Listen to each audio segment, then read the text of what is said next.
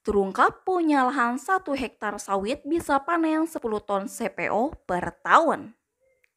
Memiliki lahan 1 hektar sawit bisa menghasilkan 10 ton CPO per tahun.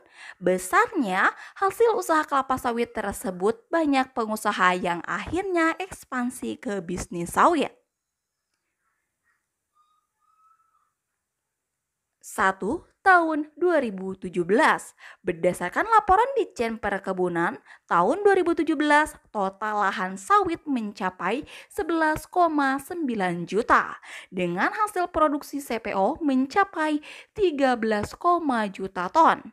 Dari total luas lahan tersebut terdapat sekitar 2,4 juta diremajakan.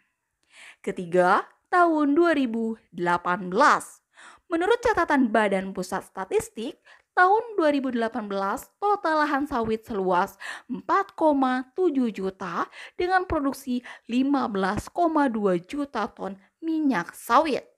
Sementara berdasarkan data Asosiasi Petani Kelapa Sawit Indonesia, luas perkebunan milik petani rakyat mencapai 4,7 juta, mampu memproduksi sebesar 11 juta ton CPO per hari per tahun atau menyumbang 30% terhadap produksi nasional. Ketiga, tahun 2019.